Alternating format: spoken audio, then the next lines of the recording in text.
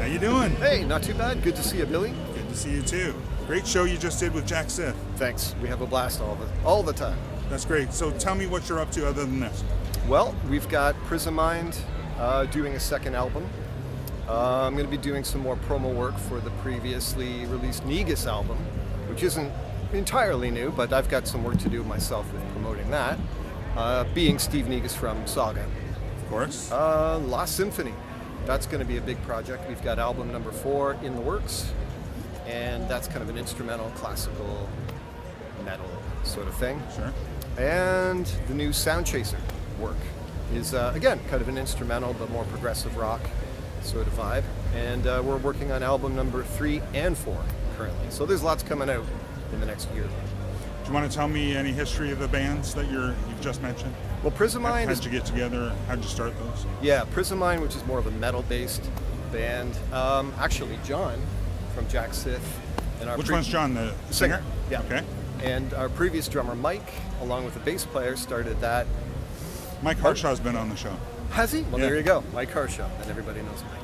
Yep. So he's uh, we're working on album number two, and that's kind of kind of trickled out.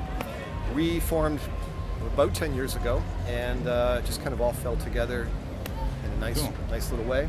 Um, Lost Symphony is an interesting project. I'm the only Canadian. Oh, really? yeah. Where do they so come from? they're based out of Boston, the Oh, yeah. Boston area. And so we work digitally, obviously, we work online, and we've done three albums that way. wow. Cool thing about that album or that project is that we have a lot of guest players, drummers, mostly guitar players, who pretty much everybody knows. We have uh, former members of Megadeth, Oh, great. uh, Extreme. We have Nuno Bettencourt from Extreme on Really? one track, uh, drummer from Pearl Jam, um, a whole bunch of different guest artists who have thankfully liked enough, you know, what we did enough to go, yeah, I'll contribute to that. So that's pretty cool. We got album number four in the works on that one. Um, Brilliant. That sounds great.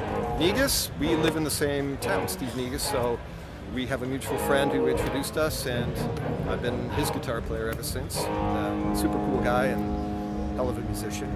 Yeah. And um, what did I leave out? Sound Chaser. Sound chaser. Okay. Sound Chaser is a friend of mine, Art Griffin from Collingwood, um, in his sort of instrumental, progressive rock uh, kind of styled project. And that's been a lot of fun to, to work on as well. We have a few guests on that as well. And uh, like I said, I think it's album number three and four are currently in the works. Um, he's a real slacker, as you can tell. great. So how did you start in music? I started playing guitar when I was nine, and that only came about because I can't skate. so my hockey career took a quick, quick dive, and I thought, well, what else can I do that I would enjoy, and I don't really care if anybody, anyone else is involved in it? So I just I saw a video for ZZ Top Legs. Oh, really? Yep. And I saw, I think it was that with the spinny guitar. Yep. Right. The- and I was like, I got to do that. That's amazing. So I asked my mom for a drum set. And she said no, so I said, okay, how about guitar? What a guitar. And that's been it. And then uh, I started teaching when I was 16, and Oh, that's ya? still what I do for a living. So so it's prog mostly now. it seems I get involved in that kind of yeah. stuff. Um, I'm probably, I don't really listen to a lot of prog in the sense of like, I, I skim the surface, but prog, true prog fans, I'm like the tip of the iceberg Sure. in knowledge. Those guys know all the rest of what's down there. And I just go, no idea. There's so many bands and, and artists out there that I've just never explored. Guitar influences then? Where do we start?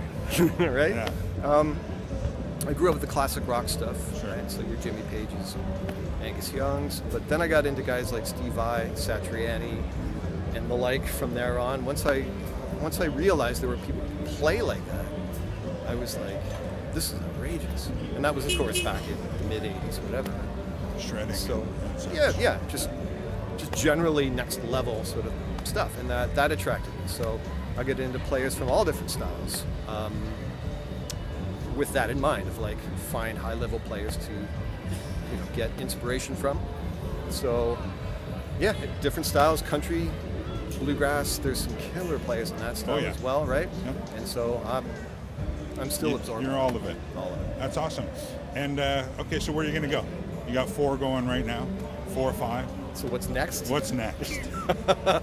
Get them finished. That's what's going on. Finish right? the current. And thank, like I All right. mentioned to you earlier, thank goodness none of them are active all at the same time, right? So I can sort of separate my schedule and go, okay, this week I got to finish a Lost Symphony track, and then collect some ideas for the next Prismind track the next week. So a lot of moving parts, but thankfully not moving all at once. Interesting. Okay. And uh, I have one question. I, I kind of have have toyed with this question for a while. It's from Woodstock, actually. Hmm. There was a nerd reporter guy like me Okay.